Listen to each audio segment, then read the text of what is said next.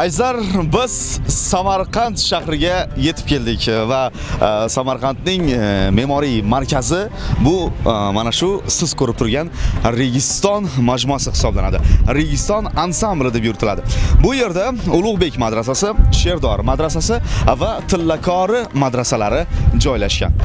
Tarixdan ma'lumki, Temuriylar bizning kuch-qudratimizni bilmoqchi bo'lsangiz, mana biz qurgan imoratlarga boqing deya asosiy o'rinlarda mana shu Registonda bunyod etilgan e, mana shu e, obidalarni alohida ta'kidlab o'tishadi.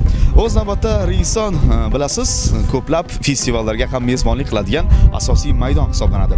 O'sha mashhur Sharq taronalari festivali va albatta e, Samarqandning asosiy sayyohlar gavjum bo'ladigan markazlaridan biri bu Registon ansambli hisoblanadi. E, hozir ko'ryapsiz, mana qurilish ishlari davom etyapti, chunki mana shu binolar yil davomida rekonstruksiya qilib boriladi. E, va bu yerdagi naqshinkor bezaklar hamisha dunyo sayyohlari e'tiborida. Samarqand bo'ylab sayyoh КТМЗ даваме трамс.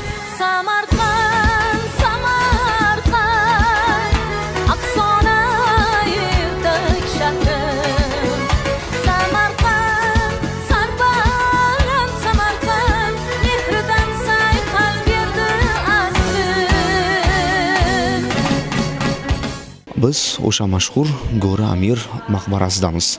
Bu yerga dunyoning turli davlatlaridan e, ziyoratga kelishadi. E, albatta, aziz bobo kalonimiz Amir Temur va ularning avlodlarini ziyorat qilish uchun markazdagi qabrda bobo kalonimiz Amir Temur ko'milganlar e, va Mirzo Ulug'bek, Muhammad Sulton, Mir Said Baraka, Said Umar, Shohruh Mirzo Miron Shoh Mirzo, Abdullo Mirzo va Abdurahmon Mirzolarning qabri bor. Gumbazga diqqat qilsangiz, naqshinkor bezaklar bilan bezatilgan va albatta ayni gumbaz oltin rangga bo'yalgan. Oltin rangda turli xil oyatlar, suralar yozilganiga guvoh bo'lyapmiz. Eng asosiy jihati gumbazning balandligi ancha mahobatli va Samarqand shahrining turli nuqtalaridan bu gumbaz alohida ajralib turadi. Va bu qabrlarga diqqat qilamiz. Mana marmar toshdan yasalgan qabrlar necha asrlardan buyon э, aziz э, sayyohlarni va albatta barcha dunyo xalqlarini e'tiborini tortib keladi. Bu yerga turli davlatlardan Amir Temur hazratlari va Temuriylar avlodlarining buyuk shaxslarini ziyorat qilish uchun insonlar tashrif buyuradilar. Go'ri Amir maqbarasi haqida yanada to'liq ma'lumot beramiz. Maqbara o'zining salobati bilan bilamiz butun dunyoga ma'lum va mashhur. 1404-yilda bobokalonimiz Amir Temur hazratlari nabirasi Muhammad Sultonning vafotidan keyin mana shu maqbarani bunyod qiladi. Va ayni mana shu maqbarada buyuk bobokalonimizning avlodlari ham dafn etilgan. Va Amir Temur vafotidan keyin ham ayni mana shu maqbaraga keltirilgan. Mana bu topilmalar hammamizni diqqatimizni tortdi. Bu topilmalar o'sha ko'k saroy deb ataladi saroydan olib kelingan. Ruslar bosqinidan keyin ko'k saroy talon taroj qilinadi va ayni mana shu topilmalar hozir go'ri amir maqbarasidan o'rin egallagan. Mana bu toshdan o'yib yasalgan topilma. Bu o'sha zamonlarda tahorat qilish, yuvinish e, vazifasini bajargan. E, yana bir topilma mana bu o'ralar. Qarang. Bu ustunlarning poydevori o'ralar ustiga qo'yiladi e, va o'rnini egallaydi. Demak, o'sha zamonlarda Amir Temur saroyida mana shunday hajmdagi o'ralar bo'lgan. Undan tashqari yana bir topilma minbar vazifasini bajargan ekan. So'zga chiqmoqchi bo'lgan amaldorlar yoki bo'lmasa podshoh ayni mana shu minbarda turib nutq so'zlagan. Xuddi mana bunday ko'rinishda mana. Va mana bu katta e, hajmdagi topilma. Mana shu toshning ustida sohibqiron Amir Temur bobomizning taxtlari bo'lgan va ayni mana shunday balandlikda uning ustida taxtda bobo kalonimiz o'ltirganlar. Sayohatimizni davom ettiramiz.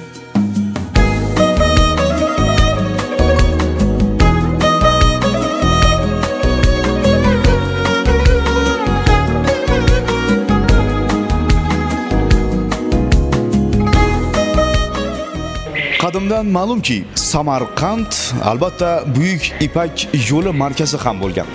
Bu yerda chorrahalar, ya'ni kim savdogarlar to'xtab o'tadigan choyxonalar ham bo'lgan.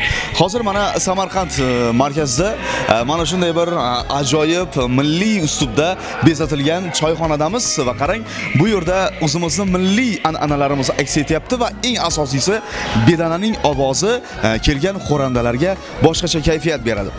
Bedananing ovoziga bo'lgan ishtiyoq bizni har bir yurtdoshimizda bor. Asosan mana vodiy tomonlarda va albatta mana Samarqand, Buxoro, e, Toshkentda mana shu bedanaga bo'lgan e, ishqibozlik juda kuchli. Yana bir ma'lumotni keltiramiz. Samarqand shahri butun dunyo miqyosida tashrif buyurish kerak bo'lgan shaharlar beshtaligiga kiritilgan.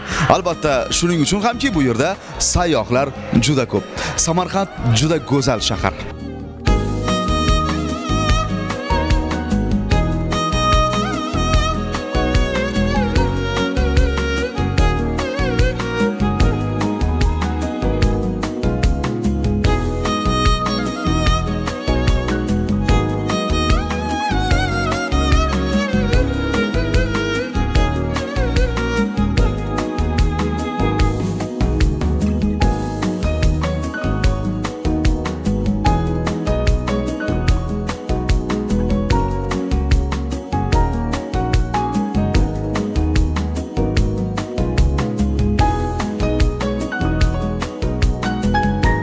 Samarqandning eng chiroyli joylarini tomosha qildik va endi Buxoroga qarab yo'l olyapmiz. Eng e, albatta asosiy ishimiz bor. Samarqandga keldik. Albatta Samarqand nonlaridan olib ketish kerak. Qarang qanday chiroyli, qanday go'zal e, bir to'yimli non bu Samarqand nonlari.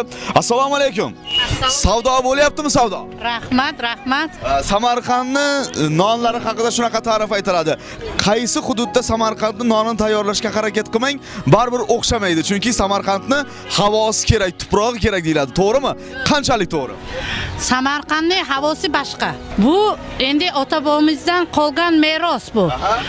Faqat bu ana shu Samarqandning noni deb shu Galosiyo tomoniga bu bitta shu yerga chiqadi, boshqa joyga chiqmaydi. Men masalan o'zim Moskvaga borib ishlatgan, Moskvaga bunaqa non chiqmadi. Moskvada tayyorlab ko'rdingiz bor. Ko'rdim ha. Bo'lmadi. Bo'lmadi. Ha, juda ham yaxshi. Lekin o'sha masala. O'sha masala. Hamma narsani olib bordik, tandir pandirini ham hammasini ham non qildik, lekin baribir havosini olib bormadik. Havosiga nima deydi? Qoyil, qoyil, tasanno. Endi bir e, tayyorlanish texnologiyasi e, sir bo'lmasa kerak, a? qanaqa bo'ladi? Sir yo'q, hech nima yo'q. Faqat droja, suv, namak. Va Samarqandni havosi. Yana Samarqandning havosi, meni qo'lim shirinda. Qoyil, qoyil, qoyil. Endi albatta savdoyingizga baraka tilaymiz. Mana e, nonni hidiga qarang. Nonni hidlash mana. Ah, Ha. ah. Non yopaman, o'xshatib. Rafidani qarshatib. deyishadi. Ha. Ha, Haqiqatan ham mana azizlar, biz ham mana o'zimiz Xorazmdan keldik. Va mana shu Samarqand to'g'risi boshqacha taassurot qoldiryapti. Endi bizga to'rtta to'rtta non berasiz. Charchamang deymiz. Rahmat sizlarga. Samarqand nonlariga nima yetibdi azizlar qarang mana shunday xushbo'y to'yimli nonlarimiz hamisha bor bo'lsin asosiysi bu bizning eng aziz ne'matimiz dasturxonimizni to'kin qiladigan nonlarimizdan aylanay